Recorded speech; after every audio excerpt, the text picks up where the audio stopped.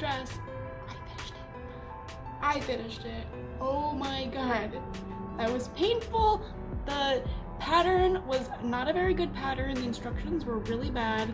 Let me show you which one it was. It was this one. Like, yeah, did I eventually get a dress out of it? Sure, but like, was it written for people who like have eyes and need to read? No, no, it was not if you're like really familiar with like sewing and patterns and stuff, you'd probably be fine, but like if you don't have a lot of experience, the stuff doesn't make any sense. Like if you're really experienced, you can probably be like, oh, I think they're trying to say blah blah blah. Um, oh, also, um, the hair, like, I do like it. I was just having a bad day yesterday. um, yeah. So, this is it. I have like this little beret. Anyway, so here's my outfit for today. Have like ruffly socks and I was wearing long lace-up boots, but anyway, here's the dress.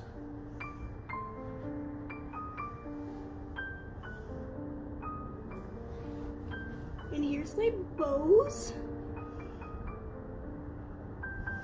I attached them with snaps. So when I go to wash um, them, it, hold on, let me give you some better lighting.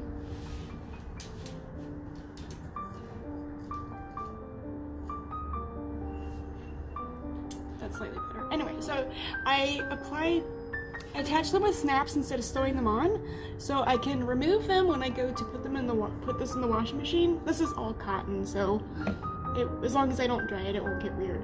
But yeah, um, then I can remove these and they won't get all janky looking, and I won't have to like try to iron the bows or do anything annoying. So let me go try this on for you.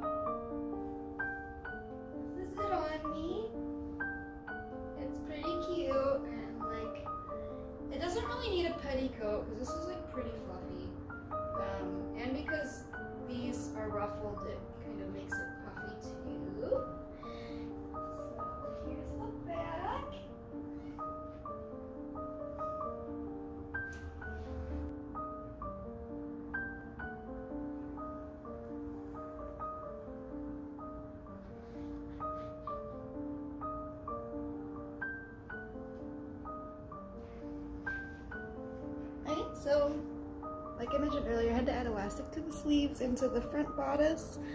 Um, then, yeah, you can see here, these are kind of scrunched. This is what it wanted me to do. I think it looks a little messy, but whatever. Um, and then, yeah, I didn't have enough fabric to make the front bows the right size, but I figured it's okay if they're slightly smaller. So these are like way bigger, but they're my, honestly like a little too big. I'm kind of glad that the front ones are a bit smaller because I feel like it would be a little too overwhelming. And yeah, because they are snaps, they do turn slightly. So I'm not sure if I will do anything about that. I probably won't, but yeah, this is the dress that I made. It's my first, um, like, full piece of clothing that I fabricated. I've, like, made alterations to stuff before, but I've never, like, made my own piece of clothing before. And of course I picked something probably a little too adventurous, which is why it took me like three years to actually finish it. But it's finished now and I'm really proud. Also, the pattern wanted like bows here and like here, but that's not really me. That would be like too cutesy, which like this is obviously kind of that style, but I just feel like it'd be a little overboard to have that many. So I just wanted them on the bottom. And then it also wanted the bows and the under ruffle to be contrasting colors. But I thought it would um, be cool if it was monochrome because then it would show off the texture of the dress more. Um, and so it has like variety through like dimension rather than color and contrast. And I also thought if it was had an alternating color like bow or slip, it'd be kind of more difficult to like match shoes and stuff with.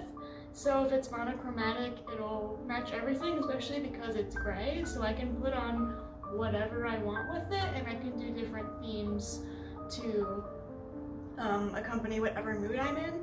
I started this project because I've always really loved um, Japanese Lolita fashion, but their dresses that are like not off Taobao are really heckin' pricey.